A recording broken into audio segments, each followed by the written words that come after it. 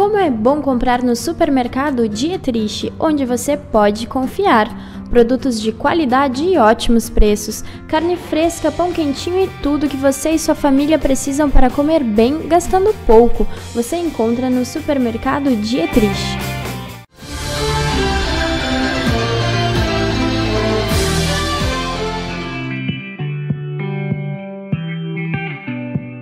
Bom, a Prefeitura Municipal vai estar realizando agora, dia 30, próximo agora de maio, o Dia do Desafio, novo Dia do Desafio, e nós estaremos posteriormente, a partir de segunda-feira, contatando as entidades do município, eh, escolas, entidades sociais, filantrópicas, comércio em geral, entidades esportivas, enfim, todos os segmentos municipais para que participem deste Dia do Desafio, que nada mais é do que a pessoa ou a entidade, pode ser a pessoa sozinha ou a entidade em si, praticar alguns minutos de exercício durante o dia 30 de maio, que é o dia do desafio.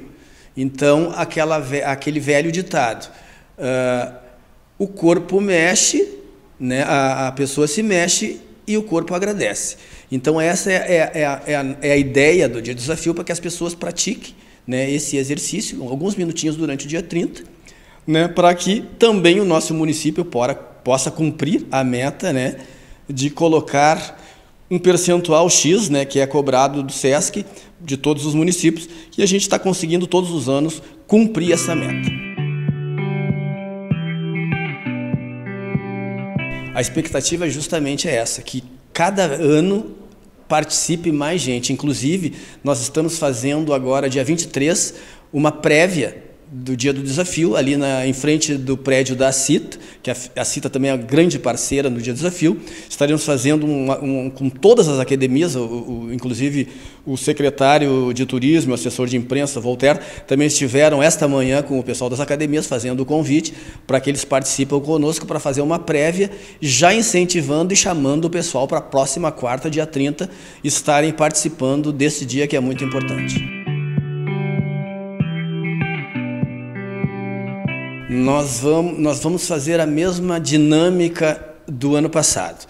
Nós vamos uh, fazer o contato com todas as entidades e elas, cada entidade, cada comércio, né, cada academia faz o seu exercício, tira uma fotografia durante o ato, né, e, e manda para nós, Secretaria de Turismo, Desportos e Lazer, né, pelo e-mail turismo@taps.rs.gov.br, né, ou pelo WhatsApp, como se foi o ano passado e a gente não tem, não tem elementos suficientes né, para estar movimentando todo mundo. Na prefeitura, né, a Secretaria de Turismo, né, o pessoal que participa juntamente conosco. Então, nós não temos elementos suficientes para estarmos né, juntamente com a população em todos os segmentos.